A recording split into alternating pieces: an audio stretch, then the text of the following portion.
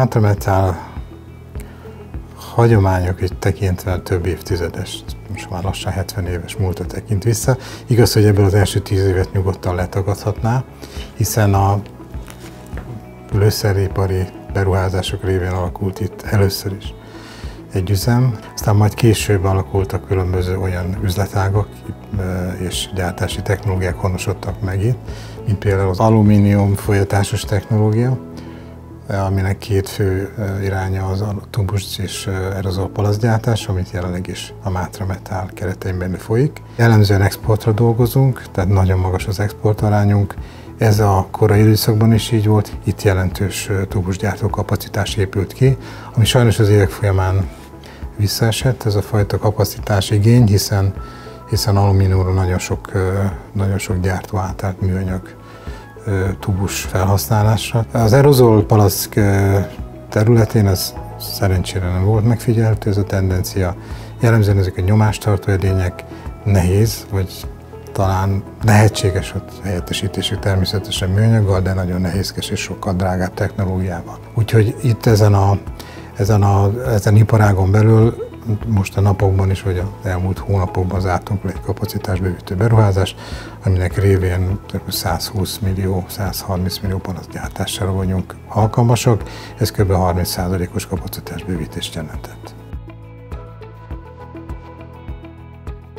Jelenleg 370 főt alkalmazunk, 90%-ban főmunka, időben dolgoznak nálunk, 8 órás munkarendben, három műszakos munkorendben 6-tól 2 2-től 10-ig, este 10-ig és 10-től reggel 6-ig. Jellemzően úgy itt a régió adottságaiból következően mi szervezett utaztatást végzünk a dolgozóink számára, tehát maga az, az a fajta utaztatási tevékenység is igazodik a műszakbeosztáshoz, nem csak a fizikai munkavállalóink körében, hanem a hanem az szellemi munkavállalók körében is. Ott délelőtt 6-tól 2-ig tart a munkaidő.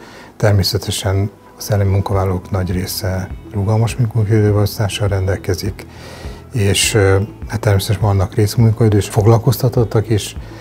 Itt jellemzően a rehabilitációs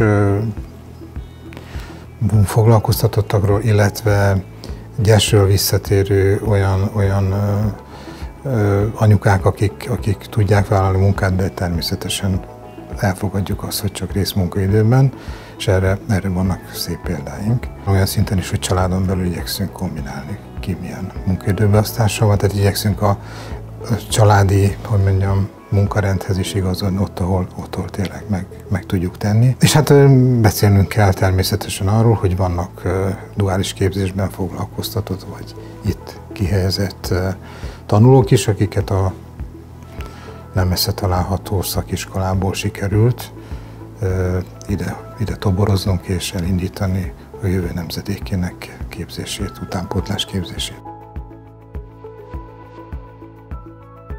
Természetesen beszéltünk, és fogunk meg beszélni olyan gyakorlatokról, ami máshol is létezik. Ez, amiről most beszélünk, ez inkább egy, én úgy nevezem, hogy követendő példa. Hogyan fog működni a vállalat 10-15-20 év múlva, kik fogják ezt a vállalatot működtetni. Ez nem egy egyszerű feladat, mindenkinek feladja a leckét, így nekünk is. Különösebben a régióban el lehet mondani, hogy az elmúlt három-négy generáció az úgy eltűnt a piacról, távolabb keresett munkalehetőséget, hiszen itt ebben a régióban nem nagyon volt. A Mátramet az egyik meghatározó munkaadó egyébként. Mi abban, abban hiszünk, és arra tettük le a, a voksunkat, hogy itt helyben kell megtartani a jövő generációját, és ahhoz, hogy meg tudjuk tartani a jövő generációt, először is munkalehetőséget kell biztosítani, lakhatási lehetőséget kell biztosítani, és, és hát tanulási lehetőséget, mert így fognak itt maradni. Ezt látjuk az előző évtizedek példájából, hogyha ez a három feltételből bármelyik is sérül, nem adott, akkor, akkor el fognak vándorolni az adott régióból. Úgyhogy ezt felismerve kerestük azokat a lehetőségeket, hogy hogyan tudjuk régióból azokat a fiatal vagy leendő munkavállalókat itt tartani, akik, akikre számíthatunk. Nem csak mi, de a mi munkánk révén akár, akár az egész, tehát a régió többi vállalkozója, és ebben vállaltunk mi úttörő szerepet, amikor megkerestük a 20 kilométerre lévő ö, járási székhelyen Pétervásárán található szakiskola vezetőségét, támogatva a Heves megyei Ipar és Kereskedelmi Kamara vezetősége részéről, és közösen megegyeztünk abban, hogy bár a szakiskola akkori irányultsága nem tette lehetővé, hogy közvetlenül diákokat fogadjunk, de kb. 3-4 hónap alatt sikerült a feltételrendszert úgy alakítani, hogy tavaly szeptemberben egy 12 fővel el tudott indulni egy olyan iskolai csoport vagy osztály, akinek a tanulóit itt fogadtuk a szakmai gyakorlati képzés keretében.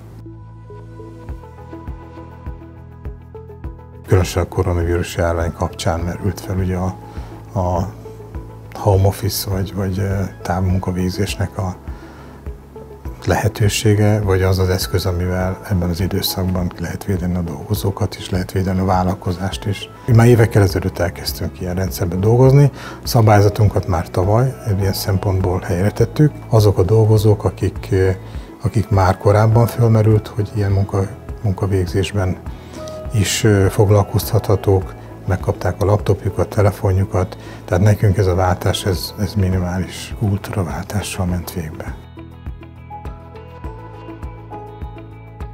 Van, aki 100 km vagy azon túl kellene, hogy bejárjon. Tehát van ennek egy praktikus oldala, a költséghatékonysági oldala, hogy ha nem kell minden nap bejönni, és az a munkakör, amit egyébként ellát, elvégezhető bárhonnan. Ezt igazából csak szabályozni kell, és át kell ültetni olyan keretek közé, hogy ha valaki mondjuk megegyezünk, és heti egy vagy két napot otthon marad, akkor, akkor ezt, ezt elvéget, ezt, ezt meg tudja tenni. Ez azért egyfajta bizalmi elvet feltételez. Tehát ez, ez nem, nem, nem írhatók le szerintem azok a, azok a szabályok, vagy azok a, azok, az a kulturális érettség, amihez társul. Tehát, hogyha azt mondom valakinek, hogy nyugodtan végez otthon a munkádat, akkor tudom, hogy el fogja végezni, mert, mert, mert megvan ez a bizalom. Ha nem lesz, nincs meg ez a bizalom, bármit írunk, bárhogy szabályozzuk, bárhogy kérjük számon, nem fog működni. Ha példaként kell említeni, akkor az utaztatás az a kezdetektől olyan helyen helyezkedik el a gyár, ami tömegközlekedés szempontjából kiesik minden fő irányból. Kb. 40 telepésről kell összeszedni 6 autóbusznyi dolgozót, munkatársat, naponta háromszor. Ez nem kis feladat, ez nem titok, jelenleg csak a volán társaság tudja megoldani nekünk hatékonyan, úgyhogy évtizedek óta együtt dolgozunk. Ami újszerű kezdeményezés az, az a rugalmas munkaidőkeret, és hát ugye az előbb említett távmunkavégzés, ami mondom, ez már pár éves múltra visszatekint, de hát a, a, a felfutás az mégiscsak a koronavírus járvány okozta, okozta, hát intézkedések hozták elő. Ez egy érdekes kérdés, nehéz lemérni. Én azt gondolom, hogy elindult egyfajta kultúraváltás, ami inkább megtartó irányba hat, és ez, ez ami a megtartásnak a lényege, szerintem ez a bizalom, hogy ezt a bizalmi elvet próbáljuk érvényesíteni, akár a rugalmas munkaidőkeret alkalmazása, akár az otthoni munkavégzés. Ezek inkább technikák, ezek inkább, hogy mondjam, lenyomatai annak a fajta bizalmi elvnek, amire mi építünk. Feltétlenül ajánlom. Mondom, ezek a jó gyakorlatok általában úgy azt jelentik, hogy valamilyen szinten már létezik. Nyilván utaztatás is van más cégeknél is. Nehéz azt mondani, hogy legjobb gyakorlat, mert ugye helye és, és helyszíne határozza meg azt, hogy, hogy ezzel valaki tud élni, vagy nem. A távmunka, én azt mondom, hogy ez egy olyan lehetőség, amivel tovább kell lépni, és be lehet építeni nem csak ilyen krízis helyzetek esetén, amit a koronavírus járvány okozott, hanem be lehet építeni a napi rutinba, úgyhogy mi léptünk tovább egyet, és miután ugye leült ez a koronavírus járvány okozta első hullám, akkor is úgy döntöttünk, hogy, hogy megduplázzuk az addig megállapított otthon tölthető, vagy távmunkában tölthető időt, jelenleg két napot minden további nélkül, és általában ki is használják a, a kollégák ezt a lehetőséget, aminek mi csak örülni tudunk.